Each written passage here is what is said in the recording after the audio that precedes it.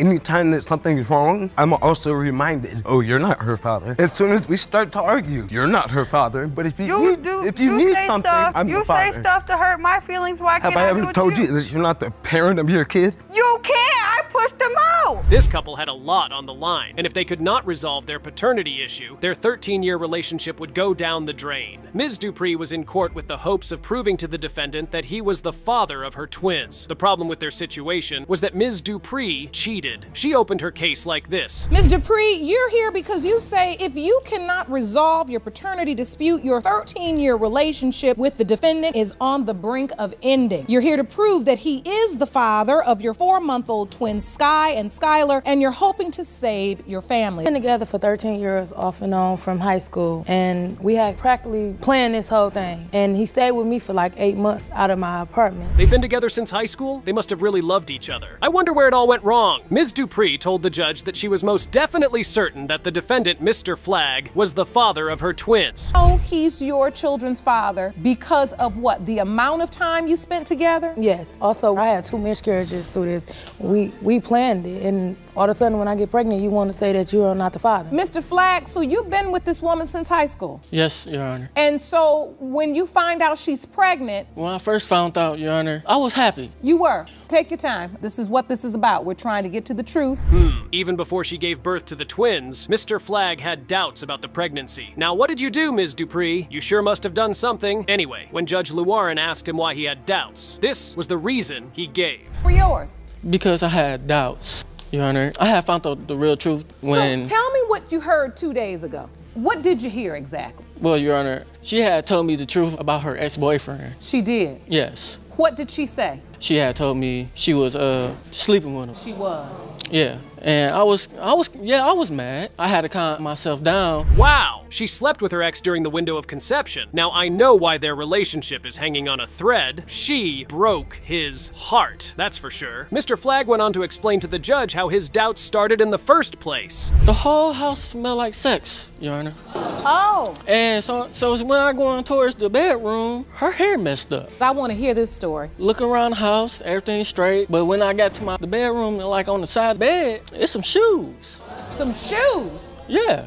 So I'm looking at the Your Honor, shoes that's and looking true. at my size. Hmm, Let's just say the man she cheated with left in a hurry so he would not be caught. Now, after he saw the random shoes in his house, he decided to confront Ms. Dupree about the shoes. And trust me, her reply was even worse than what you expected. Take a look. I had asked her, whose shoes are they? She like, it don't matter, don't, just leave it alone. I'm like, what you mean leave it alone? It doesn't matter. Yeah. Did you say it didn't matter, Ms. Dupree, when, Yes, when Your he Honor. saw these shoes and said, whose Yes, shoes? Your are Honor. they?" So he did see the shoes. Yes, he did. They were big shoes. They was big shoes. And they were by the side of the bed. yes And they weren't his. they weren't his your honor they was my friend the boyfriend because they both came over Well, Ms. Dupree had better come out with the truth because the explanation she gave does not sound convincing at all. Here's something that's going to shock you. Trying to figure out who she had cheated with, Mr. Flagg asked to smell Ms. Dupree's body, and this happened next. I'm going to say that I just understood the testimony and not have you repeat that.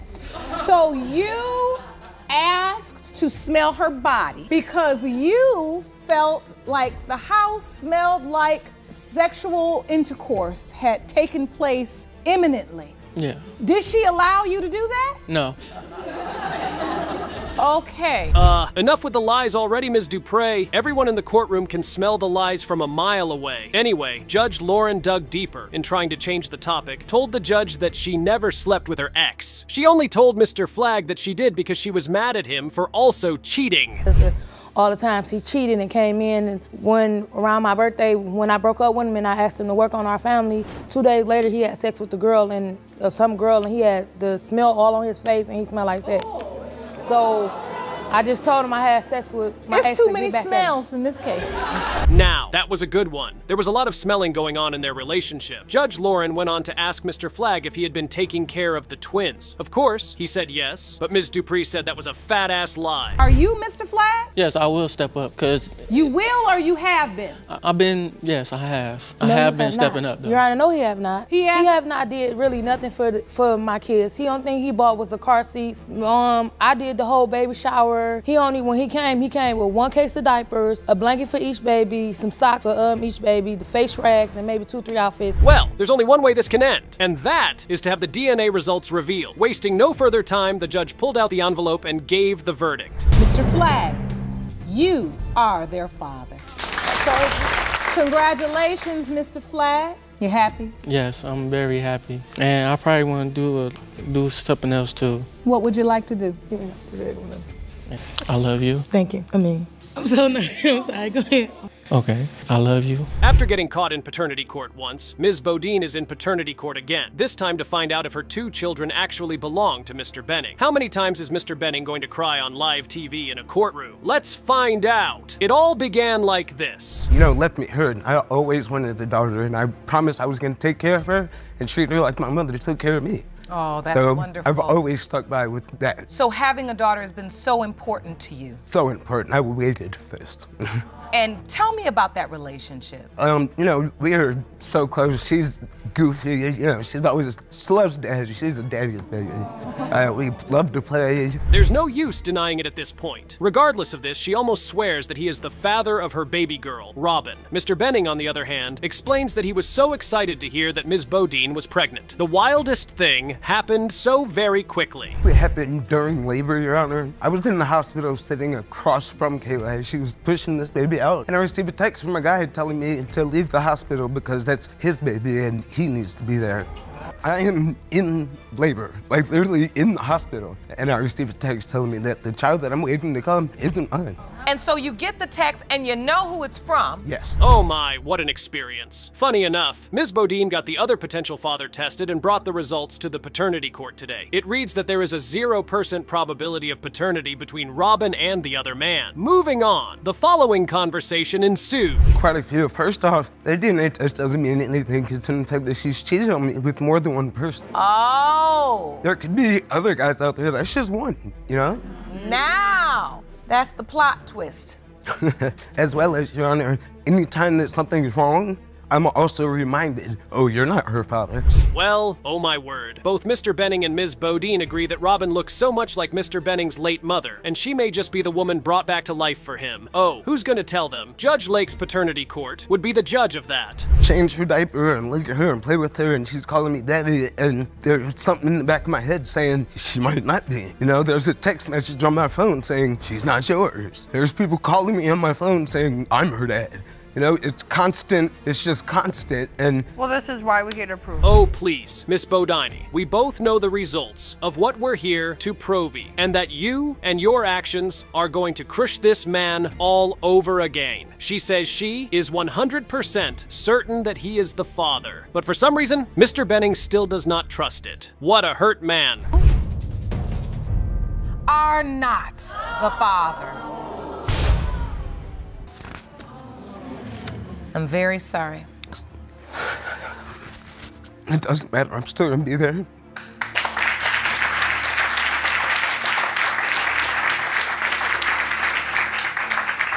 I'm lonely when she calls daddy. I'm What an awfully painful moment. Ms. Bodine stands there shocked, not knowing what to do with herself at that moment. What a woman. On to the next, which is baby Jermaine Jr. Here are the doubts Mr. Benning has about none other than Ms. Bodine herself. Amazing woman, really. To the court. yes, it was your. There was a text to you, Mr. Benning, that says, I'm filing papers for a DNA test on Jermaine. That'll cause paternity doubt Indeed. 24 hours a day, seven days a week. If you're honest, sure does. Every day. You sent that text, Miss Bodine? In addition to all of this, Mr. Benning was in the hospital for Jermaine Jr.'s birth. He has his first name and everything. How does a person send that sort of text message after letting him sit through all of that, sign his birth certificate, and take his first and last name? The results are out, and here is the verdict. You are not the father. What the? Oh, Oh, I'm so sorry, Mr. I got cribs and playpens and toys, and I've done everything that I do, and Miss Bodine, Do you know who Jermaine Jr.'s father is? No, Your Honor. In this situation, Mr. Walls claimed to have been away for a while, and when he got back, he saw the defendant, Ms. Walker, having some funny business with another man. He claimed that she was a serial cheater, and he was certain he was not the father of the child. This was how he opened his case. Mr. Walls, you say that after spending a short time away from Ms. Walker, you caught her with someone else's hands in her cookie jar. Yes, Your Honor. All right, you say Ms. Walker is a serial cheater, and there is no way you are her child. Well, I worked across the street from where Dominique stayed, and when Dominique would walk out of her house going down the street, and I'm like, hey, how you doing? You know, trying to catch her attention. It looks like the long wait to get her number was worth it after all. In no time, things got very romantic between them. They started spending time together and going on dates. We, we started going out there, you know, spending time uh, by the water. I felt it was a lot, it was romantic, you know, and uh, so. And that- so, Ms. Walker, Yes, Your Honor. he seemed like he was a gentleman courting you. You went out with him. Yes, Your Honor. It was a good relationship at first. It was good in the beginning until I found out I was pregnant. And when I found out I was pregnant, I told him, but he talked about he wanted a DNA test. Hmm, I knew we were about to get to the bad part, but was he really a family member, Ms. Walker? Well, we are going to find out. The funny thing about this couple was that even though they had a very lovely time together, they never got into an actual relationship. It's turned into a real relationship, is the point. Um, Okay, that took too long. So it was not a uh. relationship. So you all were having sex yeah.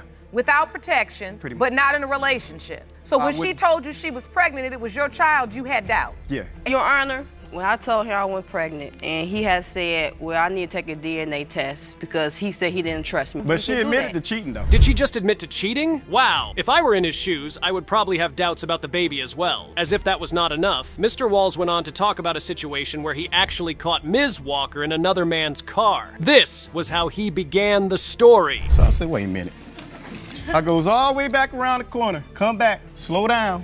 I look like, no, that don't look like Dominique in that car. Like, that ain't Miss Walker. Like, no. So I said, forget it. I drive on around again. I'm on You on your third lap? Yeah, I'm on my third lap now. I'm doing a Hollywood stop now, like, yeah, that's her. That's her in the car. And then I confronted her about that. Aha! You've been caught, Ms. Walker. If indeed she was pregnant and the baby belonged to Mr. Wills, she had no right to do anything with another guy. Moving on, Mr. Wills was not done listening to the scenarios he witnessed, which made him doubt the baby. I call her phone. She'll say she at home. I go to her house, knock on the door. Her mama come downstairs and say, Dominique not here. Dominique went over her god sister house. I just talked to Dominique. She said she was home. This happens a No, couple you of aren't. times. No, oh, no, my you gosh, aren't. I wish no, your mama was here. Because from we're gonna start from the, the time he said he was living with his baby mama. He was he was telling me was that he was It's he gonna difference. It was promise to leave her too so he can be with me and my child. Ah, that explains why they couldn't get into a proper relationship. They can't even make a complete sentence without yelling at each other. Again, Mr. Wills went on to explain that with his other five kids, he had pregnancy symptoms. But with Ms. Walker's child, he never felt any such symptoms. Looking up a little bit. I'm feeling a little nauseous. And with her, her pregnancy, I had none of that. How many other kids do you have? I got five other kids. Okay. You had pregnancy symptoms with all five? Yeah, pretty much. You did. degrees. It could be very minimal to something that dad doesn't even notice, like love handles. And he figures he's getting a little bigger because mom's eating more. Um, to nausea, vomiting, abdominal pain. So it does certainly exist. Wow. It looks like he wasn't lying after all. The funny feeling is actually a real thing. Could that mean the baby does not belong to him? Well, the DNA results are about to reveal just that. And we will know if Ms. Walker has been lying all this while. Mr. Walls, you are not her father. Ms. Walker, I gave you an opportunity. At least five. Well, I apologize. I'm sorry. I'm... Three years. Do you know who her father is? yeah, Was it the guy in the car? no. This is one messy situation you will never forget. Trust me. Ms. Bargy found herself in the middle of two men, her husband and her ex-boyfriend. The crazy thing about this situation was that both men believed they were the father of Ms. Bargy's baby, and she had no idea who the father was. She started her case by saying this. Ms. Bargy, you and I spoke briefly in my chambers. Yes, Your Honor. You admit you cheated on your husband and now you are caught in a paternity triangle, with both men believing they fathered your two month old daughter, McKenna. Yes, sir. At least she's not denying making a mistake, and the beautiful part is that she wants to find a way out. Judge Lauren, understanding the intensity of the situation, proceeds to ask her husband what type of bond he had built with the child. As you would expect, he loved the baby beyond words could explain. So, Mr. Bargy, Yes. you've fallen in love with McKenna. Yes. Tell me about the relationship you have with her. Um, I, I could be at work for 10 to 12 hours a day. I take five minutes out of my time, busy or not at work, video call, sit here like that right there.